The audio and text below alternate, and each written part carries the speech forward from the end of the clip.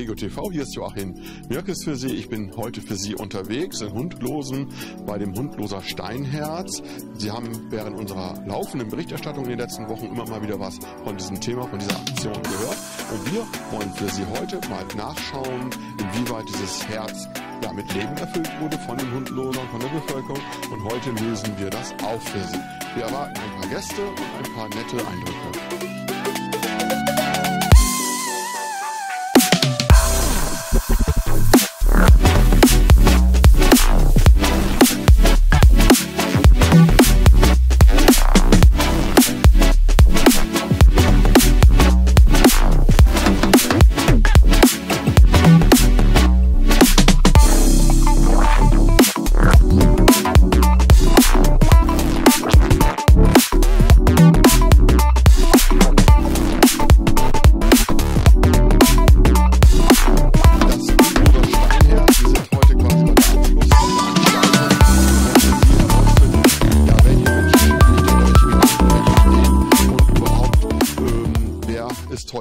Alles hier? Und da habe ich als erstes die Hilke Müller neben mir stehen. Das Schöne ist, du hast ne, vom Bürgerverein und Losen ja. deinen Namen auf, quasi auf die Brust tätowiert, ja, so genau. ähnlich, ja.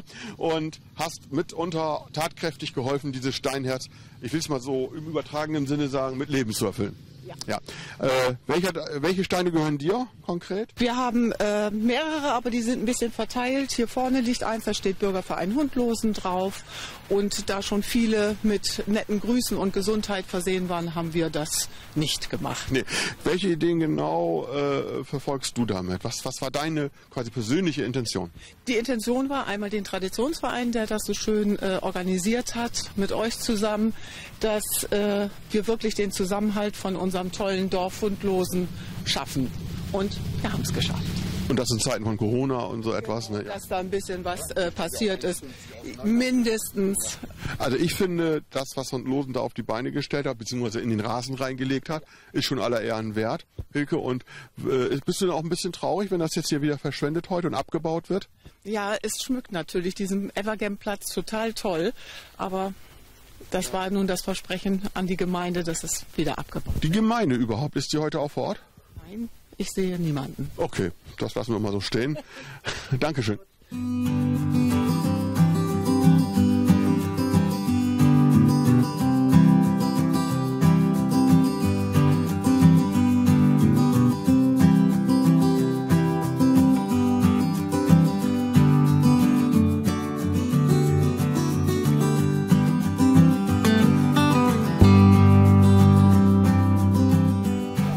Zuschauer, die Hundloser Bevölkerung, auch die Einwohner hier haben natürlich dieses Steinherz, wie gesagt, wie ich schon sagte, mit Leben erfüllt.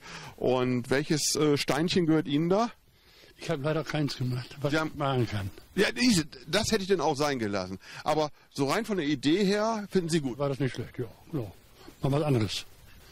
Die, Hund, die Hundloser äh, haben ja alle da einen Stein hingelegt, oder viele. Äh, glauben Sie, dass es das nächstes Jahr wieder geben wird? Äh, ich glaube schon. Wenn man das äh, angekommen wird und es im Fernsehen kommt, ist das natürlich eine gute Sache. Ja, das kommt bei uns auf Regio TV, ganz klar. Natürlich wäre es auch schön, wenn so die Gemeinde so Anteil nehmen würde. Ja, ja ich bin auch Ortsbaumeister gewesen hier, 18 Jahre lang und deswegen vertrete ich dann die Feuerwehr. Die Feuerwehr, siehst du, falls das mal brennt beim Herz.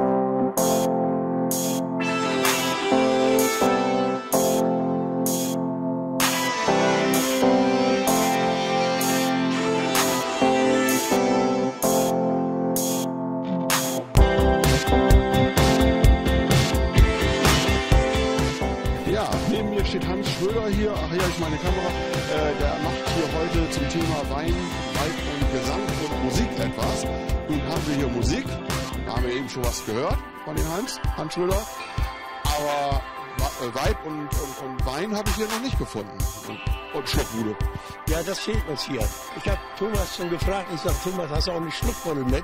Nee, ich sage, da habe ich nicht. Dürfen wir hier nicht. Das ist ja den Anlass zu, dass alles passiert ist wegen Corona und so, ist das äh, nicht gestattet. Sonst hätten wir ein bisschen mehr hier gemacht. Nicht? Wobei eine Bohne Schluck ist ja gar nicht gegen Corona gut, ne? Das, das ist ja gegen den Virus.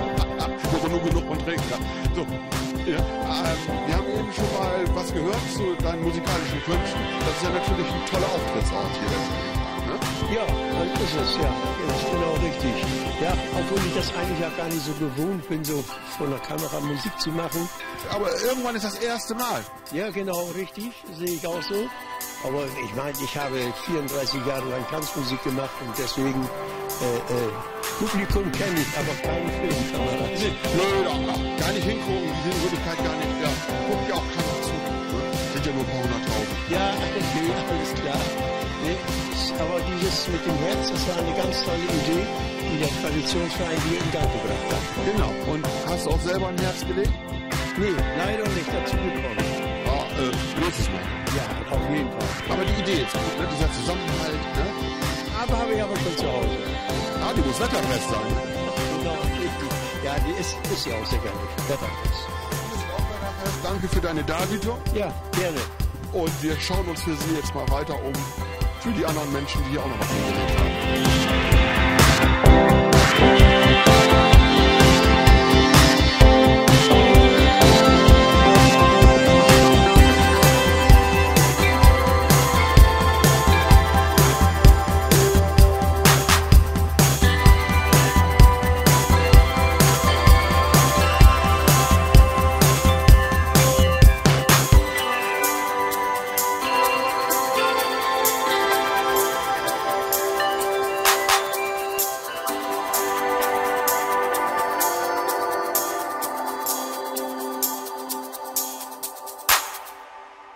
So, neben mir steht jetzt ein Repräsentant, ein äh, quasi öffentlicher Repräsentant des Traditionsvereins hier in Hundlosen.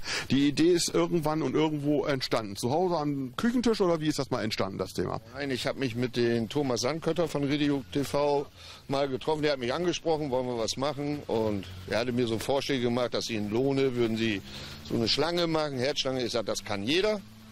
Wir machen ein Herz. Und davon war er begeistert. Sagte, machen wir. Haben wir ein bisschen geplant, bisschen was organisiert und siehe da, es hat funktioniert. Wie viele Herzen sind es geworden jetzt am Ende? Ein Herz. Ein Großes Herz, aber wie viele Steine? Oh, kann ich dir nicht sagen. Komm, wir zählen die jetzt mal eben Ja. hier. Nummer eins, zwei, drei. Hast du auch eins? Ich ja, sicher. Oh, erstmal wiederfinden, ne? Oh, hier ist was mit Sonnenschirm und Marienkäfer sehe ich hier und ein Regenbogen und Punkte und VfL Osnabrück hier auch noch. Guck mal, Holger, das ist was für unsere Fußballfans. Hä? Fußballfans, VfL Osnabrück, ich finde das verrückt. So. Also ja, ich komme gleich. Thomas, mal. So, wen haben wir hier? Oh, der ist ja wunderschön. Das ist ja ein ganz schöner Stein hier. Hör mal, wo ist meine Kamera? Ich halte das doch mal hin. Holger nimmt das mal eben. Wunderbar. So hat jeder Stein auch seine eigene Geschichte, ne? Richtig, genau. Warte mal, der ist bemalt oder? Nee, ist, bemalt. bemalt. ist der. Wunderschön. So, ich leg den da mal wieder hin. Im Übrigen hat diesen Stein hat unsere zukünftige äh, Schriftführerin, die Sabine, Weißt du das schon? das weiß sie. Das ist einer der schwierigsten Jobs in so EVs. Das habe ich hier schon beigebracht. Ja, wir gucken mal weiter, Ja. was hier noch für Motive gibt. Hier Landfrauenverein Hundlosen. Ja, genau, die haben auch mitgemacht, finde ich auch eine ganz tolle Geschichte. Im Übrigen möchte ich mal einen ganz großen Dank an alle aussprechen, die überhaupt sich die Mühe gemacht haben, einen Stein zu äh, malen und hier hinzulegen. Es zeigt halt doch, dass wir nicht nur ein Dorf sind, sondern eine Gemeinschaft. Es geht um den Zusammenhalt, ne? Es geht um den Zusammenhang, genau, und gerade in dieser Be Zeit. Scheuernzeit. Ja, richtig, Sagen. genau. Ja, also ich bin auch tief beeindruckt. Vor allen Dingen ein Steinherz. Man denkt ja zuerst, wenn man das Wort nur hört, ja, ein Herz aus Stein, das ist ja eher negativ. Alles Quatsch, liebe Zuschauer. Dieses Stein ist tatsächlich von Menschen, äh, dieses Herz von Menschen gemacht worden. Und äh, dieses Steinherz ist quasi mit Leben erfüllt worden deswegen. Und äh, wir gucken noch mal weiter rund. Ne? Ich darf ja nicht Tommy zu dir sagen, weil das ist ja der andere. Ja, das ist, äh, Da hat er ein Copyright drauf. Wir laufen hier mal weiter. Ich hoffe, die Kamera ka- kommt mit. Kriegt ihr das hin? Ja, das ist ja wie im ZDF-Fernsehgarten hier. Äh, ja. Oh, der sieht gut aus, ne? Ja, den nehme ich mal hoch hier. Holger, guck mal schön in die Sonne.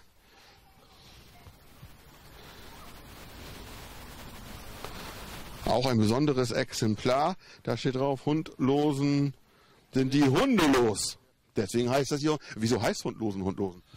Das hat irgendwie mit den Gewässern zu tun gehabt, meine ich. Weiß ich aber nicht genau, ich bin auch nur zugezogen. Wir recherchieren das mal für die nächsten Sendungen. Das können wir tun. Ein Job. Ja. Dann gucken wir mal weiter. Geh du mal vor, bitte. Auch unsere Firma haben teilgenommen hier, wie man sieht, die Firma Rau. Auch ein hübscher Stein, oder? Ganz schön, toll. Der Spielmann zum Firma Rau, was ist das für eine Firma? Das ist äh, Gas Sanitär. Dann seid die Firma Rau mal herzlich gegrüßt, so, weil das finde ich immer gut, wenn Firmen und auch Leute, die hier ihr Geld verdienen, äh, mitmachen. Die waren auch sofort bereit und die hätten heute auch irgendwie was für die Kids hier gemacht. Die hätten die Bratwurstbude und alles. Äh, äh, Schon anders vergeben gewesen, aber halt für die Kids so ein paar Sachen mal anmalen und so. Jetzt mal äh, unter uns, äh, was mir so ein bisschen fehlt, ist die öffentliche Würdigung. Äh, also ist vielleicht auch nur ein Eindruck. Ich weiß nicht, äh, ist hier jemand von der Gemeindeverwaltung oder sonst jemand zugegen? Nein, heute, also dieses Mal nicht. Als wir die Aktion gestartet haben, war der stellvertretende Bürgermeister da, hat diese Aktion mit eingeleitet, aber wahrscheinlich aus zeitlichen Gründen. Okay, dann werden wir sehen, dass wir den auch mal irgendwann irgendwo wieder vor die Kamera kriegen. Auch ganz schön. Schick, ne? Spielmannszug. So, Hund, Hund. Mann. Auch ganz toll, finde ich auch gut. Mach halt mal in die Kamera. Thomas? Ja, ich. Also ich finde auch hier Faustball, VTH. Ne? Ja, hier aus Hundlosen. Alles aus Hundlosen. Hier liegen eigentlich nur Steine von Vereinen, Bürgern, Institutionen aus Hundlosen. VTA Hundlosen. Hier wird auch Sport getrieben, so ein Thema. Hier sehe ich einen ganz witzigen Stein übrigens. Äh, mit dem alten Spieleklassiker Tetris. Ja, Tetris oder Tetris. Tetris, genau. Also wie gesagt, wir haben Also hier ganz, ganz Themen, ne? alles, alles vorhanden, ganz tolle Sachen. Sogar, Herr, wie ich gerade sehe, Harry Potter wurde, Du, wir, wir gehen weiter, wir gucken mal. wurde aufgepasst. Auch wirklich schöne, also wirklich. Schöne, schöne Steine. Was ist das? Eine Kneipe, ne? Nee, das ist doch von Harry Potter. Ach, ne, ach, neun, drei Viertel. Ey, da hat sich wieder jemand richtig Arbeit gemacht und diese Striche auch. Mann, ich bin. Da liegt noch so ein ganz großer. Da liegt noch einer. Moment. So, wen haben wir hier? Halt mal ruhig in die Kamera. Alle wissen, das ist nicht nur unsere Aktion gewesen, sondern halt auch mit Nordwest TV zusammen gemacht oder mit Radio TV. Und ich finde das toll, dass wir So eine Gemeinschaft. genau für die Gemeinschaft, dass ihr, ihr euch die Zeit nehmt, das hier überhaupt zu präsentieren. Ja. Um, um der Welt mal zu zeigen, dass es auch anders geht. Ja, erstmal, dass es anders geht und äh, die anderen Formate haben in den anderen Sendungen noch Platz. Richtig, genau, finde ich auch. Da Also, steht, Moment, da steht drauf, Traditionen zu 100 und Nordwest TV. Ich bin fast auf so einen Stein getreten. Also wie, Der große da. Der ist auch, hat jemand einen richtig großen Stein angemalt hier. Was ist das so? das ist dieses Glücksauge, wenn ich mich nicht irre, ne? Da gibt es auch diese, Dann noch ein Teddybär sehe ich hier noch. Und dann hier ist auch noch so ein schöner bunter. Da hat sich auch einer ganz viel. Ich meine, die haben sich alle Mühe gegeben hier. Warum lässt Gott Leid zu? www.jw.org. Sagt ihr jetzt auch. sagt mir auch nichts, nein. Aber schön, ne? Ja, schön ist er, klar. Das finde ich auch. Jetzt gehen wir nochmal weiter. Ja, Da finden wir bestimmt noch mehr, was unser Auge erfreut und unser Herz auch. Eigentlich, müß, Natur schützen, eigentlich müssten wir alle Steine einmal hochhalten, ne? Haben sie alle verdient. haben sie alle verdient. Aber die Zeit und äh, reicht leider nicht. Dann sind wir morgen noch dabei. Richtig, genau. So, aber danke erstmal, Thomas, dass du uns hier kurz mal was gesagt Hier die Osterfeuerhundlosen ist auch noch. Ja, das hatten wir. Den hatten wir schon, ne? Hier, der ist so gut, dass er mir das zweite Mal ins Auge gefallen ist. Äh, ja, und der hier, was ist das hier noch? Äh, Schützenverein, der, der müssen wir auch noch mal hier. Halt mal in die Kamera. Das ist unser Schützenverein, die haben natürlich auch mitgemacht. Und wie gesagt, wenn wir ein bisschen mehr hätten machen können, hätten wir heute nicht nur mein Ziehpapa, den Hamster, sondern auch äh, den Spielmannzug von Hundlosen, die hätten auch ihr Gutes gegeben. Und Das wäre eine ganz coole Sache gewesen. Super toll gewesen. Aber die Auflagen haben wir halt nicht geschafft zu erfüllen. Deswegen machen wir das jetzt so. Aber jetzt Geht auch. wir zeigen halt, dass es auch so klappt.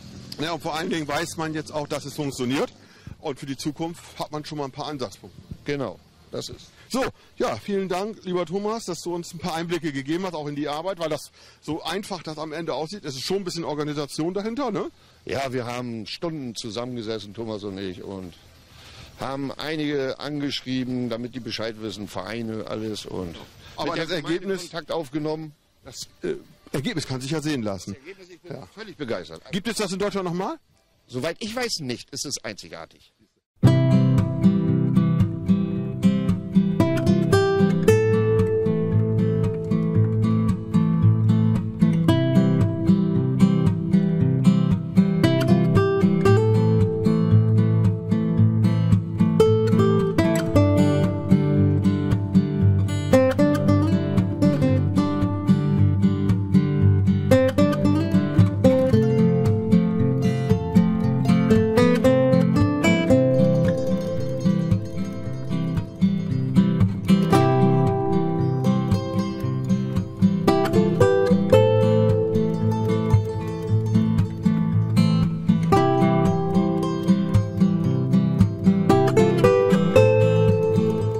Zuschauer von Rio TV, was wäre eine solche Aktion ohne eine Organisation dahinter? Da sitzen Menschen, da sitzen Ideen dahinter, die ja so eine Aktion erst möglich machen. Der Hundloser Traditionsverein und auch Nordwest TV, ähm, wir haben uns ja dafür ein ganzes Jahr schon Kopf gemacht für sie. Und äh, die beiden Hauptinitiatoren, der erste Vorsitzende des äh, Traditionsvereins der Hundlosen und eben auch der Ihnen bekannte allbekannte Thomas Sandkötter, sind ein, im Grunde die Urheber des Gedankens. Tommy, wie, war, wie ist das entstanden? Küchentisch zu Hause? Oder? Ja, also ich bin ja auch viel im Internet unterwegs und ich habe gesehen, Norderney zum Beispiel hat eine bunte Steinschlange über die Insel. Es gibt äh, Schlangen noch und nöcher äh, in ganz Deutschland in, zu Zeiten jetzt von Corona. Und dann habe ich gesagt, mit wem kann man sowas machen hier in Hundlosen? Was ist ein großer und aktiver Verein? Da fiel mir äh, sofort der Traditionsverein ein. Habe ein bisschen geguckt, wer ist da jetzt äh, Vorsitzender, weil das wusste ich nicht, weil äh, hier war ja überhaupt nichts äh, mehr äh, an Aktivitäten. Und dann habe ich herausgefunden, dass äh, Thomas der erste Vorsitzende ist. Ich habe ihn angerufen, habe gesagt, komm mal her, äh, vielleicht habe ich da was für dich. Und habe dann gesagt, lass uns eine Steinschlange machen in Hundlosen. Und er, ja, die Idee hatte ich auch schon, aber lass uns ein Herz machen, weil Schlange hat jeder. Schlange hat jeder. Das Herz, äh, wir haben kurz drüber gesprochen, äh, nach der Kenntnis von Thomas gibt es das bundesweit nicht nochmal, ne? Also das Steinherz wird es, glaube ich, nicht nochmal geben. Ich habe da nichts von gehört. Aber ich finde es eine gute Idee, wenn wir sagen, wenn jemand diesen Bericht sieht und weiß, dass es woanders noch so eine Aktion gibt, kann er sich ja gerne bei euch melden. Oder beim Traditionsverein Hundlosen. Ja, der Traditionsverein Hundlosen ist mit der Initiator und auch mit dir, Tommy. Aber es haben auch andere Hundloser Vereine oder Schutzvereine hier einen Stein hingelegt. Ne? Zählen wir so ein paar auf. Also wir haben da den Spielmannzug Hundlosen, wir haben den Schützenverein Hundlosen, die Freiwillige Feuerwehr Hundlosen, die Riss, äh, Riss, Reservistenkameradschaft Hundlosen, äh, den TV Hundlosen, den FC Hundlosen. Eigentlich haben alle Vereine einen Stein gelegt. Ja, und die waren ja heute auch alle hier zahlreich vertreten zum Abbau. Äh, genauso wie äh, Vertreter der Gemeindeverwaltung, die ja ohne die sowas ja gar nicht geht. Man muss ja vorher Erlaubnis fragen und und und. Äh, habt ihr da die Unterstützung auch immer bekommen, die ihr so braucht? Eigentlich ja. Eigentlich ja. Es war nur schade, dass heute keiner von der Gemeinde da war, obwohl Einladung äh, rausgegeben wurde. Ähm, beim ersten Mal äh, hat unser Bürgermeister Thorsten Schmidtke einen Todesfall in der Familie Natürlich, erlebt. ja. Konnte er nicht, hat eine Vertretung geschickt und heute leider keiner da. Ähm, ich weiß nicht warum, aber die werden, denke ich mal, ihre Gründe haben. Vielleicht sitzen die gerade im Kanzleramt und trinken Tee. Ja, ich Ja. werde auf jeden Fall nochmal nachfragen. Ja, das finde ich auch, weil das äh, sowas, äh, äh, wenn die Bevölkerung, wenn ihr als Verein so etwas schon auf die Beine stellt, dann muss man doch geradezu von der öffentlichen Hand her das begrüßen und beklatschen, oder? Ja, das finde ich eigentlich auch. Aber äh, es war kein Problem, diesen Platz zu kriegen, dass wir es veranstalten können. Da haben Ja. wir sofort Ja gekriegt Ja, von der super. Gemeinde und fanden das auch eine sehr gute und tolle Idee. Naja, man kann ja nur daran arbeiten, dass es beim nächsten Mal noch besser wird. Und äh, arbeitet ihr schon an einem neuen Projekt in der Richtung? Ja, und die Tiere sind auch. Ja, wir arbeiten dran, wir haben so ein paar Ideen. Es wäre aber zu früh, jetzt darüber zu sprechen. Das machen wir aber zu gegebener Zeit für Sie, liebe Genau. Zuschauer zu Hause vor den Fernsehgeräten. Sie äh, erfahren hier bei Regio TV und spätestens von Joachim Mirkes, was hier in Hundlosen und sonst wo noch passiert. Für heute, Ja. danke. Ich danke auch äh, an Tschüss. alle, die dabei waren. Alle waren dabei Ja, und ja. alle freuen sich, Sie bald wiederzusehen. Und das vor allen Dingen gesund. Tschüss. Tschüss.